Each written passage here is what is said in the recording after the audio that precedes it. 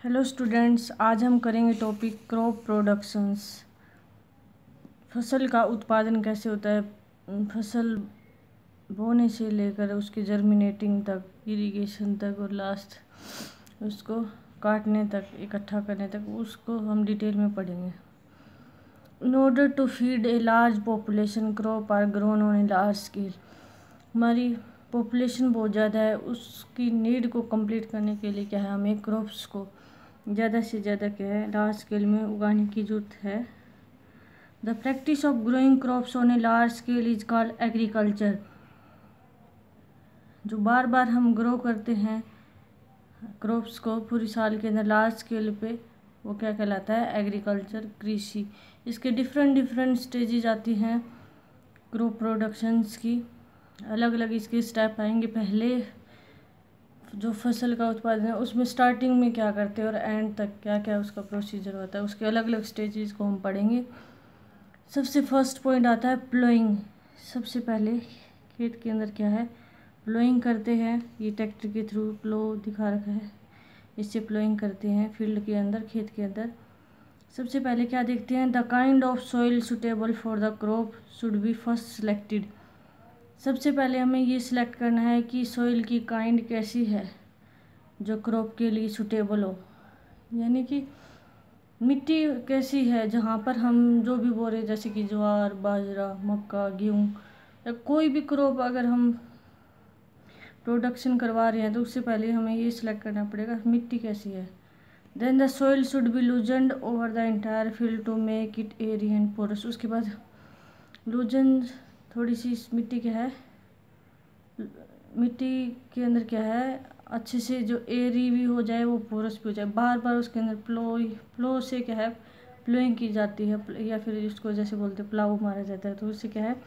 मिट्टी अच्छे से एरी, सांस ले सके और पोरस बन सके उसके बाद मैन्योरिंग करते हैं पिक्चर में दिखाया हुआ खाद डालते हैं। It is done by adding compost और केमिकल फर्टिलाइजर्स खाद डालते हैं या फिर कुछ केमिकल फर्टिलाइजर्स शॉप के ऊपर आते हैं, यूरिया जैसे सुपर फॉस्फेट उनको डालते हैं ताकि जो सोइल की फर्टिलिटी है वो इंक्रीज हो सके, उपजाऊ अक्षमता जो है मिट्टी की वो बढ़ सके। इसके लिए फर्टिलाइज़र का यूज़ करते हैं। थर्ड आता है स्विंग पिक्चर में दिखा रखा है ऐसे बीज को। छिड़क रहा है। इसमें एक सबसे ध्यान रखने वाली बात ये होती है कि जो बी सीड है उसको क्या है, एक तो डीप में ज़्यादा नहीं नहीं डालना है। Only healthy seeds are selected to be sown सबसे पहले जो सीड लेते हैं वो हेल्दी हो। फ़ील्ड को रेडी करने के बाद उसके अंदर सीड को हम बोते हैं। The seeds are not sown too deep in the soil soil के अंदर बिल्कुल डीप में नहीं हमें बोना है। Too close to each other ना ही बिल्कुल पास पास में।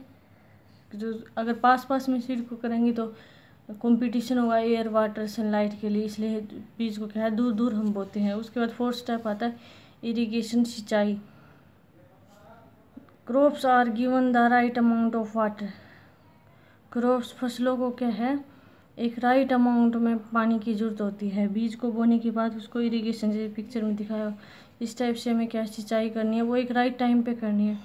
कब फॉर एग्जांपल जैसे when seeds start germinating and change into seedling जब सीड क्या है जर्मिनेट होकर अंकुरित होने के बाद सीडलिंग में चेंज होता है, उस टाइम पे राइट अमाउंट ऑफ़ वाटर की रिक्वायरमेंट होती है फ़ील्ड को। The field field needs to be watered properly field को, खेत को क्या है, पानी देने की क्या है प्रॉपरली ज़रूरत पड़ती है। इसको हम स्टेप वाइज अच्छे से लर्न करें। क्रॉप प्रोडक्शन ये नहीं है कि स्विंग पहले आ गया या मैनोरिंग बाद में आ गया। इसकी एक सीरीज़ है, स्टेप है, जैसे प्लोइंग, फिर मैनोरिंग फिर स्विंग, फिर इरिगेशन।